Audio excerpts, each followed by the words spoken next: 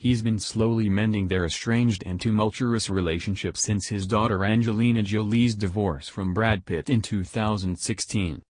And now Jon Voight has spoken out about how his daughter and the family are going amid their ongoing custody battle over their six kids. Speaking to Us Weekly, the 80-year-old said he prays for the entire family, including Brad, and vowed everybody's gonna be okay. She's, Angelina's, a very invested mom. She's on it. She's on it with these kids. She gives them love every second of their day, he began. I pray for all the members of the family, Brad as well. Everybody's gonna be okay. That's it. The grandfather to Maddox, 17, Pax, 15, Zahara, 14, Shiloh, 12, and twins Knox and Vivian, 10, confirmed that the kids, Angelina as well as himself are happy and healthy despite the ugly family breakdown. Jon continued to gush over his grandkids, revealing they all have their special qualities and all really make him laugh. I can really laugh at these guys. They make me laugh, they're funny. They tease me and all of that, he gushed. I could talk a day or two about each of them actually because it's very interesting, their personalities.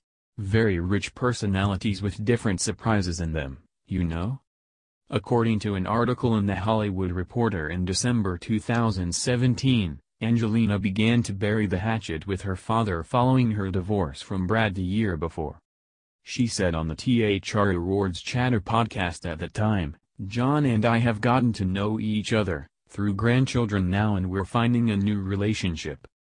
We've had some difficulties, but, through art we've been able to talk.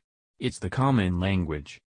Angelina and Jon's relationship came to a head back in 2002 when he gave an interview to Access Hollywood and claimed that she had serious mental problems following her split from actor-husband Billy Bob Thornton.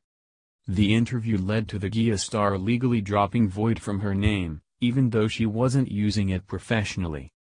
I didn't want to walk into a room as Jon's daughter, she explained on the podcast and it appears as though the pair are taking baby steps with Angelina adding, we don't really talk politics well. We talk art very well.